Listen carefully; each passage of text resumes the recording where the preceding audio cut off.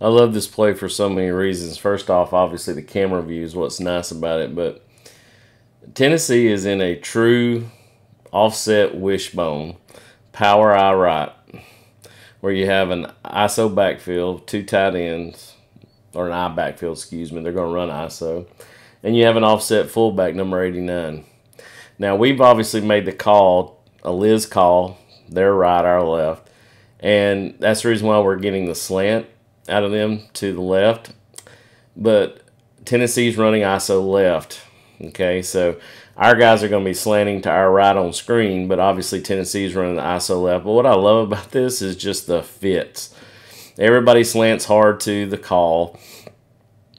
And uh, so what's going to happen here is this is all by your linebackers and who sets edge. Now, Daylen Everette's never done anything like this. He's a corner who's nubbed with his tight end on this side with 87.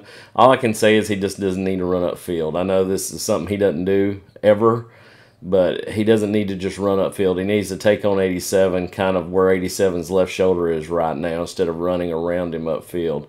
That just makes a bigger hole. But as you can see, everybody's squeezing the down gap. Our play side backer, this is what you do typically in ISO is you double team the three technique. So 63 or 53 and 78 should be double teaming Logue. But because we're slanting inside, what they're doing is just man blocking this. So if you double team the three, you leave the you know the five eye, which is Chambliss, open. So they're manning this. 78 whiffs. 63 does what he can there. 53 does what he can with Chambliss.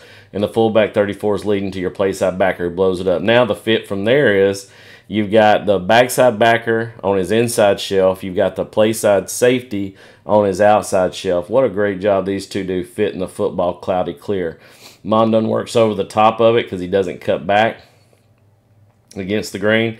And Starks comes downhill, makes a play just like a linebacker would.